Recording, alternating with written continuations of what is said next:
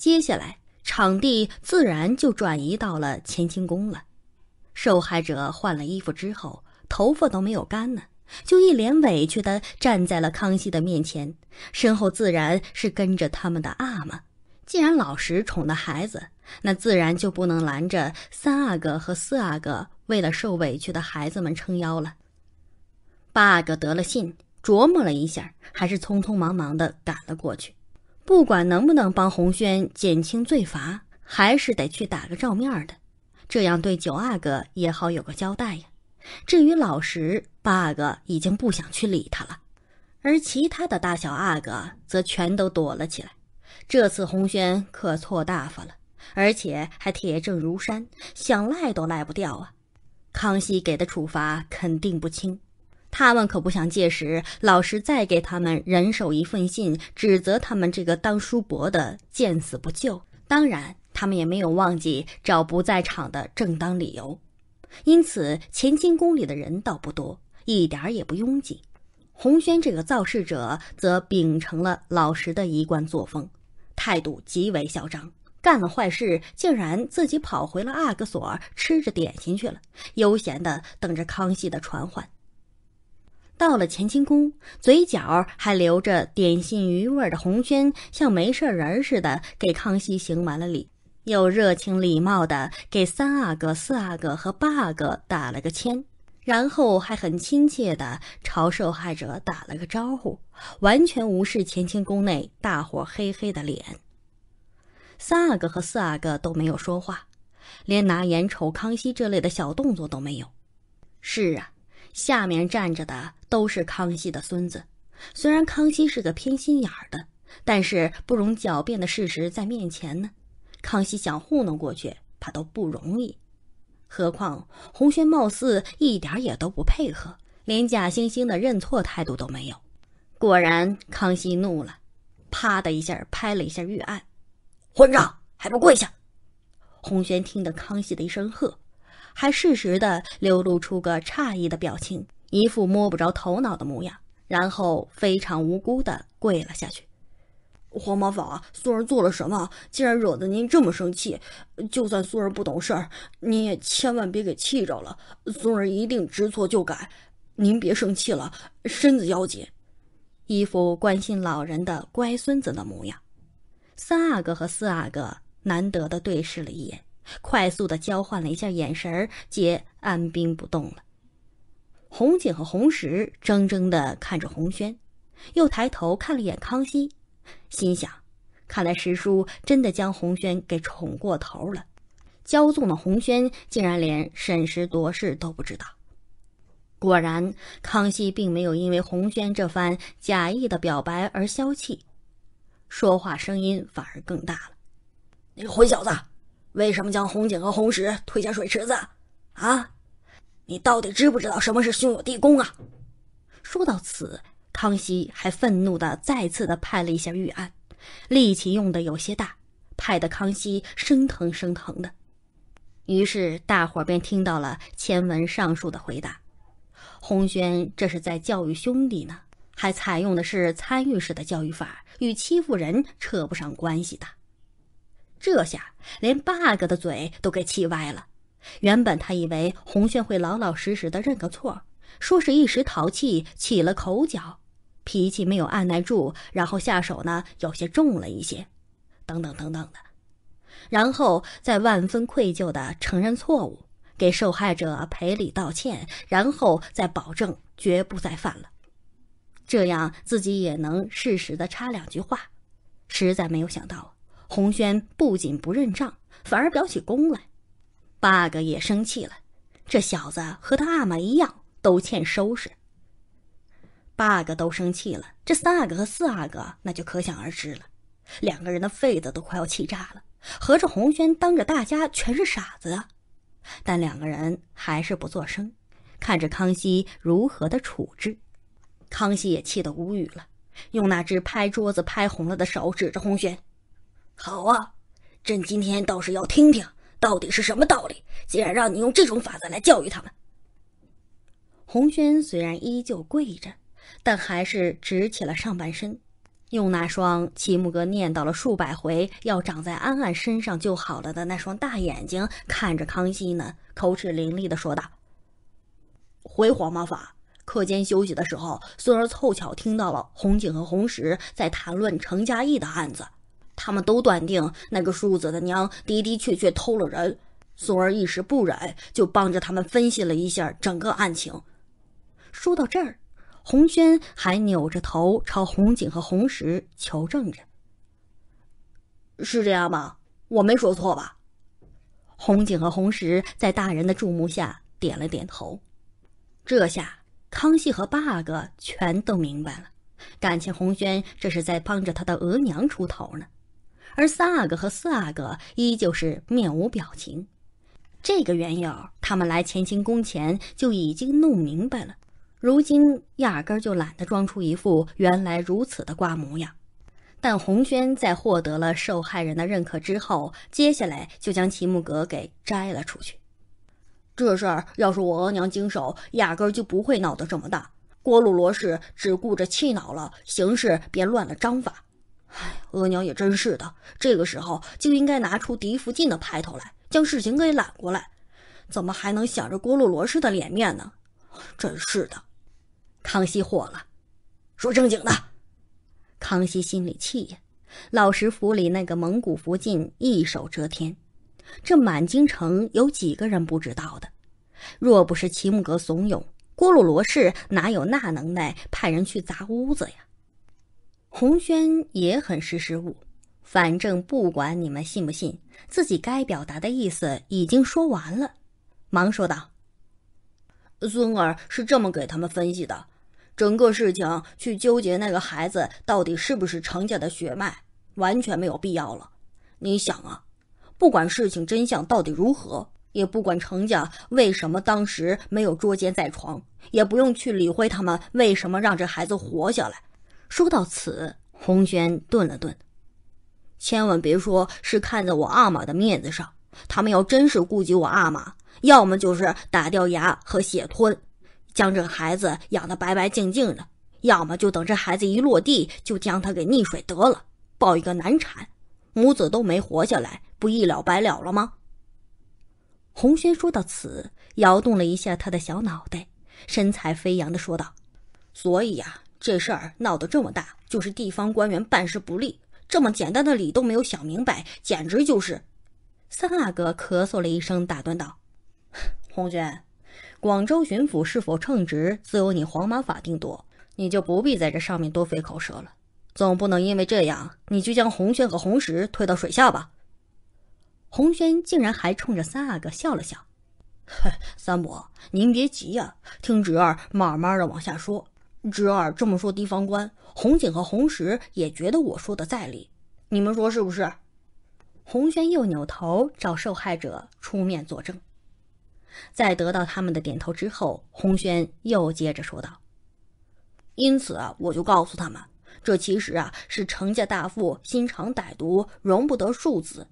程家义这个没有出息的，偏偏又怕老婆，只好任由那个毒妇为非作歹。所谓偷人之类的龌龊事儿，都是事后发生的，他们找的借口来搪塞的。但大伙都是傻子啊，这也就是广州。”见洪轩又要跑题了，四阿哥打断道：“然后呢？接下来呢？”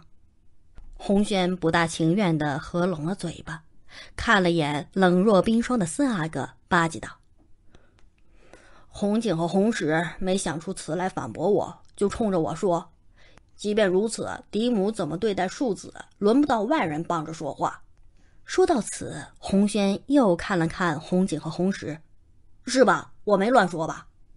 红景和红石再次委屈的点了点头，洪轩这才说道：“正巧我们都站在了池边，我就将他们推了下去。如今也已经快五月了，天气没有那么冷，而且四周都是奴才，红景和红石绝对不会染病的。我推他们之前可都是想好了的。”红轩说完，还挺了挺胸，好似为自己周密的考虑而自豪着。三阿哥和四阿哥也顾不上生气了，都齐齐的抬着眼看着康熙，心想：造事者已经亲口承认了，这下没法袒护了吧？八阿哥的头已经低得不能再低了。见过颠倒黑白的，还没见过颠倒完之后还等着人表扬的。康熙的脸已经由黑转为了红，由红转成了深黑，咬着牙说道：“就这样吗？就是因为他们说轮不到外人帮着程家庶子说话，你就将他们给推了下去？”洪轩连忙摇头，旋即又点了点头：“呃，黄毛法，红景和红石都是庶子，若是三婶和四婶叫他们住在柴房。”我阿玛肯定要出来帮着他们说话的，这可不是分嫡庶的时候，这可是涉及品行。但我又不好明着打这个屁方，三婶和四婶可都是贤良的人，我若是这么打比方的话，那还不是我这个做侄儿的不孝了吗？我阿玛知道以后肯定会踢我两脚的。然后我又想说，叔叔伯伯中除了二伯是嫡子，其余的全都是庶子。可是也没有见过逝去的皇太太们虐待他们呀。但我要这么说，对皇太太们也是大不敬。所以后来我就想啊，红景他们是庶子，可我是嫡子，照着他们的说法，仗着嫡子的身份就可以随便欺负庶子们。那我就让他们亲身体验一回。我就是这么想的。我若是欺负了他们，黄马法和叔叔伯伯肯定要为他们讨回公道的。那红景和红石到时候也就能明白了，有些事情路见不平，不是说人人都拔刀相助，但是无论如何都得帮着讨个说法。所以孙儿我就把他们推下水去了。红轩瞎掰扯完后，见大伙儿都没人吭声，想了想，又解释了两句：“我知道。”我仗着嫡子的身份去欺负庶出的堂兄弟，与嫡母欺负庶子还差着那么一截，不能相提并论。但是多少还能有那么一丝的牵连。说到此，洪轩再次扭头看着红景和红石：“我说的没错吧？眼下黄马法不正是在帮着你们讨回公道吗？